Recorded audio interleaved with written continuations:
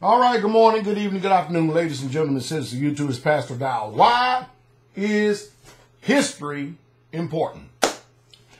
I remember uh, being in high school, um, and, and, then actually in our early adult life, in early 20s, when you're at the probably the dumbest point of your life, at least my personal opinion and perspective.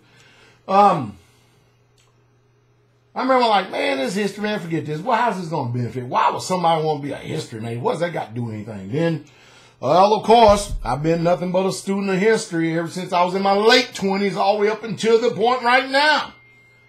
Why is history important? I'll tell you the reason why. Because your thoughts and your ideas are nothing new. You're not unique. You may consider yourself unique. You're not special. You may be special but you ain't unique and you're not special. And since your thoughts and ideas are nothing new, whatever you thought, it has already been thunk of before. Whatever you believe, somebody's already believed it before. So why is history important? Well, as the old saying goes, unless you know history, then guess what? You are doomed damned to repeat the same mistakes of the past. So that's the reason why it's good to know history. Because if you don't know history, I mean, everybody, world governments, corporations,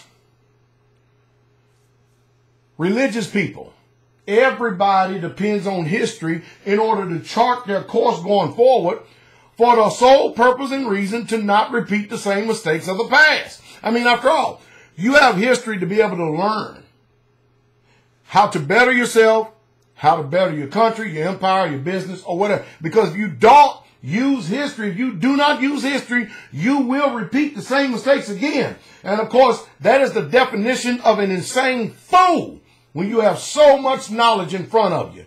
And yet and still you pick and choose to ignore because you believe that you're the sum of all wisdom and the epitome of all righteousness. That is stupidity personified.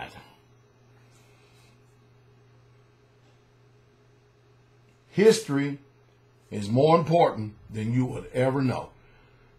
One thing I have learned from my 20s to my 30s to my 40s, and now I'm in my 50s. I'm so glad I started paying attention to history then. I really truly am. And I'm so glad that I always use history as a reference tool. Because you know what? If you want to see the future, all you got to do is look back to the past. Tells you everything you need to know. Why? Because there ain't nothing new under the sun.